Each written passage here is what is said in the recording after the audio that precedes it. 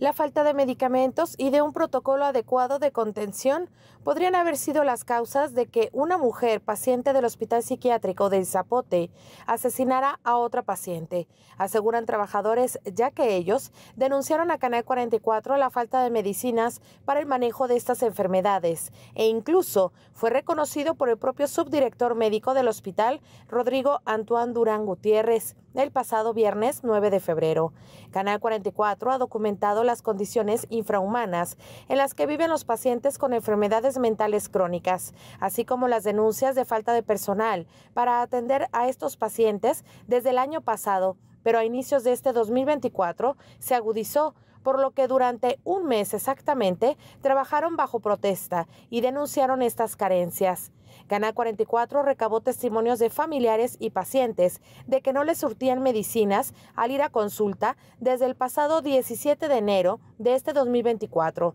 y dentro del hospital también se carecen de fármacos debido a la falta de proveedores que los venden, según la explicación dada a este medio. Para UDGTV Canal 44, Rocío López Fonseca.